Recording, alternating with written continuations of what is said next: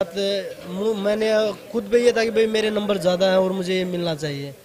इसलिए मैं अपनी लड़ाई लड़ने के लिए आगे आया हूँ। खेल पे कितना प्रभाव होता है जब ऐसी चीज़ होती है किसी एथलीट के लाइफ में और आने वाले अक्टूबर में भी गेम्स है तो आप कैसे इस चीज़ देखिए देखिए पहले तो क्योंकि अगर हम इस चीज़ का एक बहुत बड़ा अवार्ड है खेल का और हर खिलाड़ी का सपना होता है कि भाई वो मेडल भी जीते और हर अवार्ड उसके पास हो।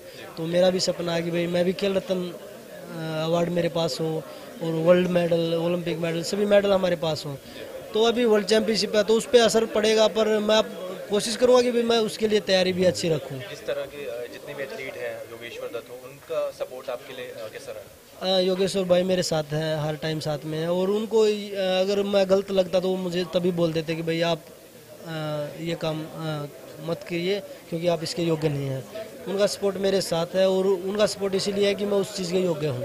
और ये मामला कोर्ट में भी लेके जाने वाले हैं? कल मंत्री जी से बात करने के बाद पता लगेगा क्या होता है आगे।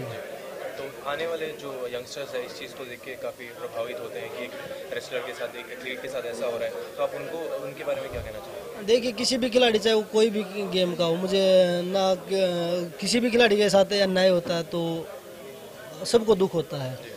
और खिलाड़ी हम खिलाड़ी हैं और इसे हमें क्योंकि जब पीछे मनोज कुमार के साथ ऐसा हुआ था, जब उनको अर्जुन अवार्ड नहीं दिया गया, उन्होंने कोर्ट केस किया तो उनको अर्जुन अवार्ड मिला।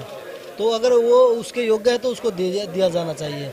वो अगर दो की जगह आप तीन कर दो मंत्री जी के हाथ में है, तीन कर दो।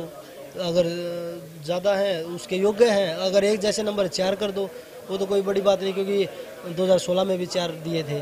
जब गेम्स होते हैं तो बढ़ा भी सकते हैं उनको। अभी कॉमनवेल्थ गेम्स एशियन गेम्स हुए हैं तो और भी ज़्यादा कर सकते थे। ये तो कोई बड़ी बात नहीं थी कि भाई वो तो मंत्री जी के हाथ में है कि भाई आप दो की जगह तीन भी कर सकते हो चार भी कर सकते हो।